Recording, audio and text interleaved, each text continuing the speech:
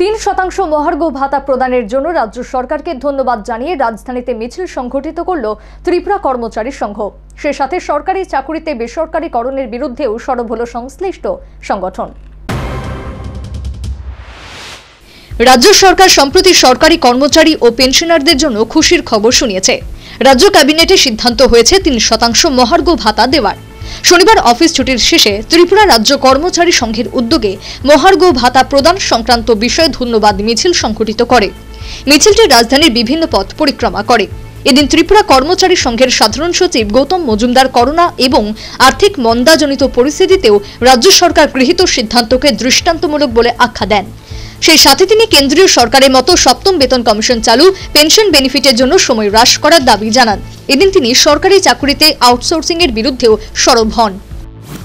বিশেষ করে আরও অনেকগুলো দাবি রয়েছে। তার মধ্যে পে ফিক্সেশনের যে ফ্যাক্টরগুলো রয়েছে, প্রত্যেকটা ডিপার্টমেন্টের বিভিন্ন রকমের পে ফিক্সেশনে কিছু সমস্যা রয়েছে। সেগুলো বারবার আমরা বলছি এটা ঠিক করার জন্য। এবং কেন্দ্রীয় সরকারের যে সপ্তম পে কমিশন যেটা রয়েছে, সেটা সম্পূর্ণরূপে মানার জন্য এবং এক এক ষোলো থেকে যেন পূর্ণরূপে আমাদের দাবিগুলো মানা হয়, তার দিকে আমরা রাখছি। কর্মচারীদের ফুল পেনশন বেনিফিট যেটা আমরা পাই, পঁচিশ বছরের ত্রিপুরা রাজ্যে যেটা চলছে, কেন্দ্রীয় সরকার সেটাকে কুড়ি কুড়ি বছরের মধ্যে করছে, আমরা সেটাও দাবি রাখছি যে আগামী দিনে ত্রিপুরা রাজ্যের কর্মচারীরা যেন কুড়ি বছরে ফুল পেনশন বেনিফিট পান।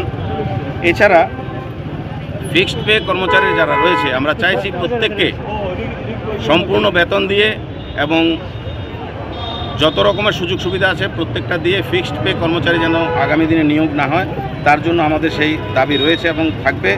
এবং যেভাবে বিভিন্ন রকমের আউটসোর্সিংয়ের মাধ্যমে, বেসরকারীকরণের মাধ্যমে যেভাবে সরকারি দপ্তরগুলোতে নিয়োগ করছে, তার তীব্র সম্প্রতি বিএমএস এর প্রদেশ সাধারণ সম্পাদক অসীম দত্তের উপর কতিপয় দুষ্কৃতিকারী হামলা চালায়, ফলে তিনি গুরুতর আহত হন। এই ঘটনায় অভিযুক্ত দোষীদের গ্রেপ্তার ও শাস্তির দাবিতে শনিবার পশ্চিম জেলা পুলিশ সুপার মানিকলাল দাসের নিকট ডেপুটেশন প্রদান করে বিএমএস এর পক্ষ থেকে। যে প্রদেশ সাধারণ সম্পাদক শ্রী বিএমএসের শ্রী অসীম দত্ত মহাশয় এবং ওনার সাথে আমাদের তিনজন কার্যকর্তাকে আমাদের যে পুলিশ হসপিটাল রয়েছে সেইখানে হামলা করেছে কিছু দুষ্কৃতীরা। তাদেরকে তাদের যে বিরুদ্ধে এফআইআর দাখিল করা হয়েছে এডিনগর থানায়, অবিলম্বে সেই আসামিদের গ্রেপ্তার করার জন্য আমরা আজকে এসপি সাহেবের সঙ্গে মিলিত হয়েছি, মিলিত হতে যাচ্ছি। এবং যদি আমরা এই এর কোনো সুরাহা না পাই, তাহলে ভারতীয় মজদুর সংঘ এবং ত্রিপুরা প্রাইভেট ট্রান্সপোর্ট মজদুর মহাসংঘ এর বৃহত্তম আন্দোলনে চলে যাবে।